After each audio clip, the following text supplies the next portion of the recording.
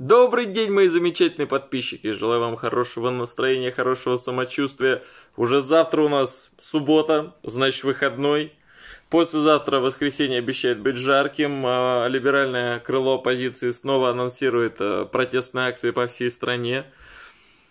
Сразу хочется рассказать вам идиотические и комичные случаи, которые произошли. Давайте два расскажу. Значит, первое. В Москве к руководителю Альянса врачей, это такой независимый профсоюз, который создавался Васильевой под э, крылом Навального. Вообще профсоюзы должны постоянно создавать левые движения, но левым это вообще не интересно. Вы слышали о независимых профсоюзах, по-настоящему независимых, а не то, что у нас в стране называется независимыми профсоюзами. Есть такая Федерация независимых профсоюзов России. Так вот, это полностью прокремлевский проект, который за людей, за трудящихся вообще не выступает. Настоящая левая политика может родиться только на основании мощного профсоюзного движения. Поэтому я всех призываю, обязательно создавайте профсоюзы, таксисты, курьеры, учителя, врачи, даже силовикам нужны профсоюзы. Ну ладно. К Анастасии Васильевой выехала следственная группа. Они собирались проводить у нее обыск. И уже входя в подъезд, они должны были позвонить своему начальству и отчитаться. Ребята, мы на месте, трали-вали, начинаем обыск.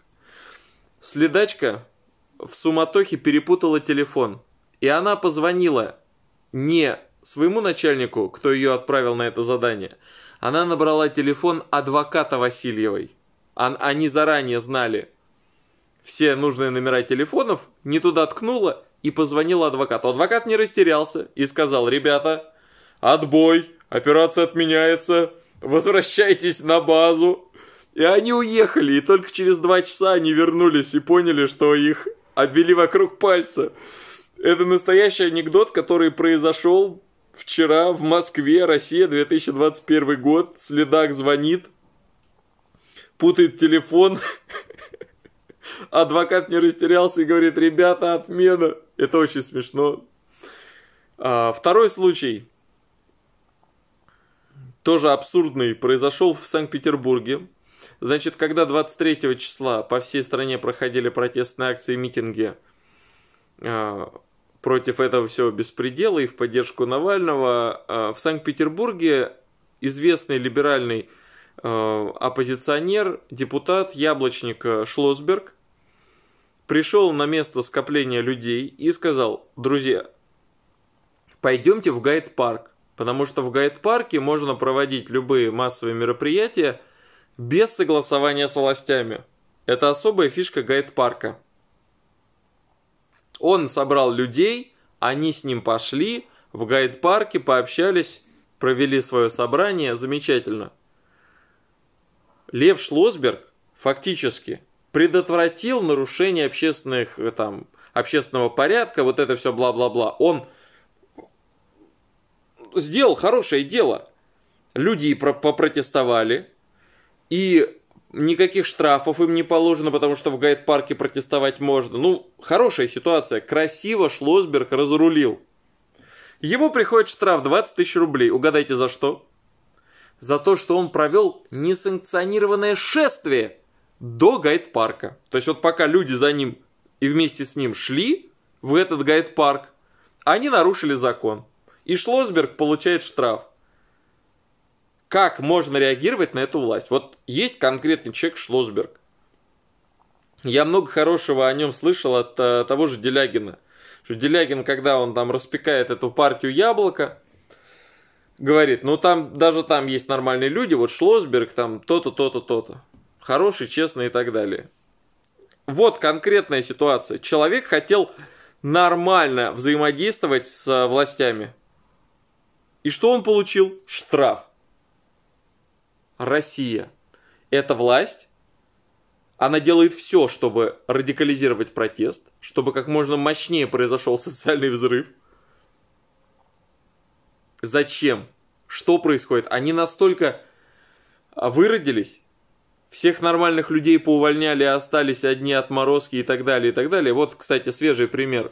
Вчера прошла информация, что человек, который был уволен из органов внутренних дел, генерал, по делу Ивана Голунова. Помните, полтора года назад журналист Иван Голунов был обвинен э, в том, что он наркоторговец, у него якобы обнаружили наркотики, а потом оказалось, что какие-то э, высокие должностные лица, полковники, генералы всю эту историю фальсифицировали, наркотики подбросили, захотели себе заработать на погоны, или была какая-то заказуха, и вот нескольких человек уволили из органов после этой всей ситуации. На, проше... на проходящей, уходящей неделе, на текущей неделе, этот человек получил новую должность, один из уволенных. Он станет э, начальником в Брянской области, МВДшный начальник. Все прекрасно. Эти люди непотопляемые. По принципу вот а, а то самое, которое не тонет. Понимаете, во власти выработаны механизмы сохранять всех худших, всех тупейших, всех подлейших. И они развиваются, получают все новые и новые должности. Люди умные, люди честные, люди, э, которые думают об общем благе, об обществе, не получают не то что карьерного роста, не получают шанса остаться при должностях. У них и окладов нет нормальных, и премий нет нормальных, потому что есть чиновники с зарплатами там 20-30 тысяч рублей, даже в Москве. То есть это вот низший персонал, которые очень бедненько живут, очень бедненько живут.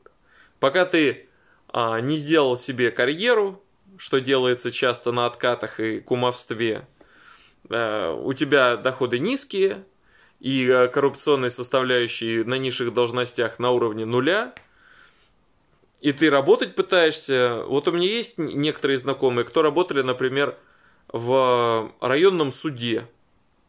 Уходят, потому что а, это издевательство. Работают люди в муниципалитетах, в префектурах, даже в мэрии, в департаментах. И почти все как можно быстрее стараются оттуда уйти, потому что кажутся вот чиновники, чиновники. Если ты нормальный человек, то работа чиновника будет для тебя сущим адом. И мы переходим а, к следующей теме. А как же, как же быть в этой ситуации, когда люди недовольны, люди в бешенстве, люди выходят на протесты? Что делать? Похоже, власть придумала, придумала идеальный выход из этого положения. Вчера на Украине, точнее в Донецкой Народной Республике, в самом Донецке, прошла конференция – которую проводили Симоньян, Бабаян и муж Симоньян, как его там, Киасаян. Согласитесь, фамилии специфические. Это три человека армянской национальности. И эти люди, выступая в Донецке, рассказывали о русском мире и о том, как важно Донецку вернуться в состав России – что нам нужно поскорее Донецк присоединить. И вы знаете, разговоры об этом, конечно, ходят уже 7 лет, но вот именно сейчас, именно когда властям нужен какой-то повод как-то сгладить все коронавирусные противоречия, экономические провалы, я полагаю, что сейчас они будут разыгрывать по максимуму украинскую карту. Они сейчас начинают процесс, они запустили процесс присоединения Донбасса и Луганска к Российской Федерации. Это позволит, по крайней мере, дает шанс повторить эффект Крымской Виктории. Вот Крым присоединили, ой, ой, дворец нашли, доходы падают, безработица растет, дистанционка, вакцинация, мусор, разливы нефти, Беспредельщики-олигархи, безумные законы Единой России, нечестные выборы. Что делать, что делать, что делать? О! Донецк, Луганск. Все, присоединяем. За Крым. Путину все прощали года 3 3-4, наверное, вот так вот. Путину все прощали несколько лет после Крым, присоединения Крыма. Огромная была поддержка, все ждали, ну сейчас начнется левый поворот, реформы, бла-бла-бла. Ничего не началось. Сейчас они присоединят Донецк. Друзья, вот, вот как на это реагировать? Армя... Армянская троица поехала туда, навыступала на эту тему. Тошно, отвратительно и противно. Вот других слов у меня просто нет. Ой. Последнее, о чем скажу. Сейчас я буду делать э, большой подробный ролик на эту тему. Ну, мне просто не терпится с вами поделиться. Олег Дерипаска, оказывается, становится у нас фронтменом такого белогвардейского подхода в нашей политике.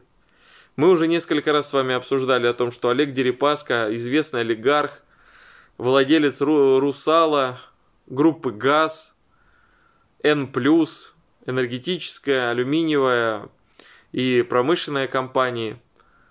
А, он прется в политику, его рассматривают как одного из возможных преемников Путина. Как минимум он идет в депутаты Государственной Думы.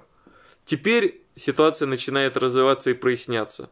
Его последние сообщения говорят о том, что это оказывается великий почитатель казачества, белогвардейского офицерства, вот этих всех сословных, высоконравственных традиций, хруста французской булки, дворянских собраний, православных ценностей.